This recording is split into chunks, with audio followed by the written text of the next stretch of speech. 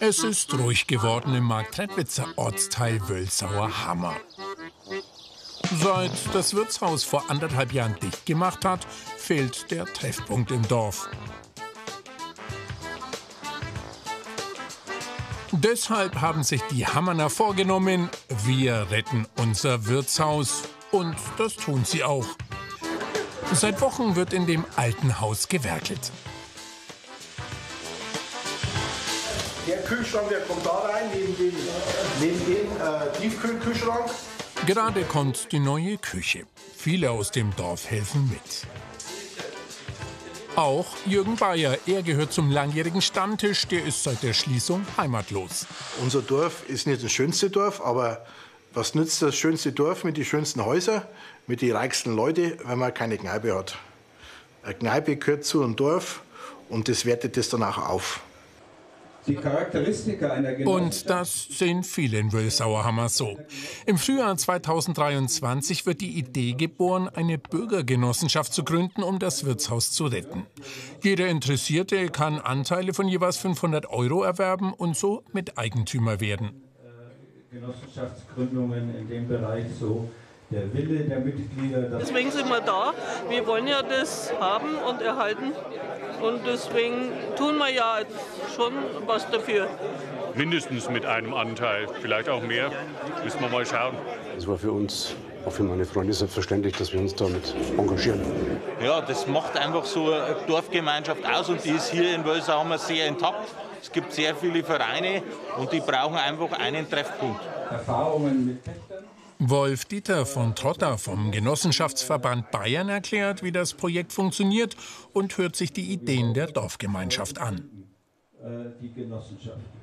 Äh, Und klar muss man das Jede Genossenschaft ist ein wirtschaftliches Unternehmen und lebt vom Umsatz. Äh, Und das ist auch bei der Wirtschaft so. Das muss genutzt werden. Und wenn, wie hier wohl im- Sommer, der Biergarten floriert, dann sind es eigentlich gute Vorzeichen. 160 Anteile sind bis heute verkauft.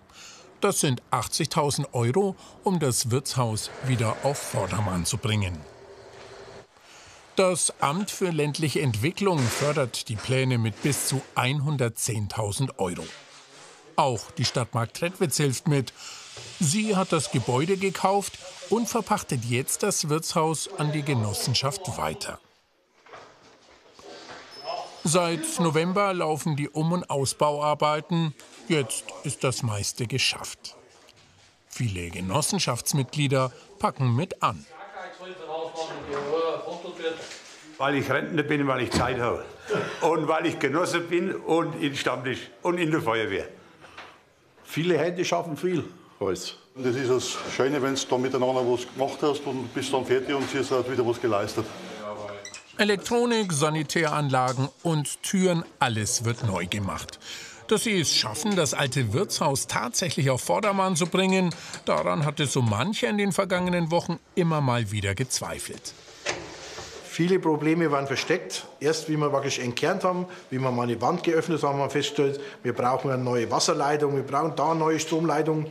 Äh, hier ist das Abwasserrohr defekt, das muss ausgetauscht werden. Das waren halt alles so, so Sachen, die dann en, en, en, also endlich das dann auch ziemlich äh, kompliziert gemacht haben. Den Anbau wollen die Genossenschaftsmitglieder noch im Frühjahr abreißen. Den Platz brauchen sie dringend. Hier soll nämlich der neue Biergarten hin. Das muss wirklich so äh, finanziert und so gebaut werden, dass es auch zum Gebäude und auch zu der Landschaft passt. Ja. Man kann nicht einfach in, der, in, in einem Wohngebiet irgendwas hinstellen, wenn nicht passt.